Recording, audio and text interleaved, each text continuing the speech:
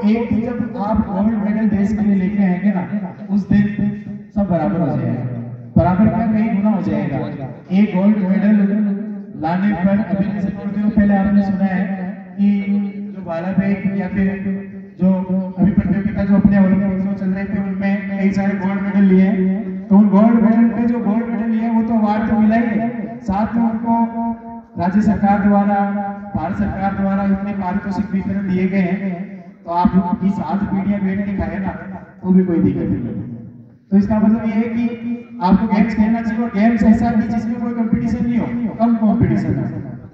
तो मैं यहाँ से ये कहना चाहूँगा कि आपको थोड़ा हॉकी की तरफ़ ध्यान देना चाहिए और मैं बता रहा था तीन चीज़ों की ज़रूरत आपको होनी चाहिए, जुनून आपको होना चाहिए, हौसला होना चाहिए और अनुभव होना चाहिए।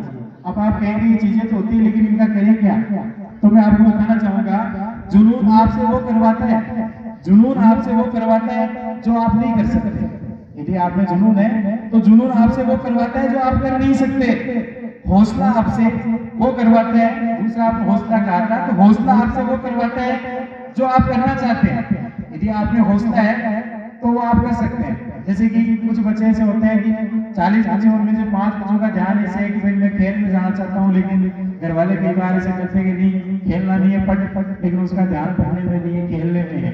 तो आपको हौसला होना चाहिए कि आप अपने फैमिली अपने बड़े भैया, उनके सामने इस चीज़ को एक्सपोज करें कि आप में हौसला है, हुनर है, उस चीज़ को खेलने में आप खेल में दक्ष है। तो हौसला आपसे वो करवाता है जो आप करना चाहते हैं। और अनुभव। अनुभव। आप उनसे लें जो आपसे उम्र बड़े या फिर जिस लक्ष्य की ओर आप जाना चाह रहे हैं उस लक्ष्य के बारे में जो पारंगत है या उस लक्ष्य को पहले से जिन्होंने हासिल कर लिया है उनसे आप अनुभव लें और अनुभव आपसे वो करवाता है जो आप करना चाहते हैं। अनुभव आपसे वो करवाता है जो आप चाहते हैं। इसी के साथ कार्यक्रम में मैं आगे की जो डांस के लिए अपने पास है, उनको बुलाना चाहेंगे तो अगला नृत्य के लिए अपने पास है आदित्य शंकर शुभम।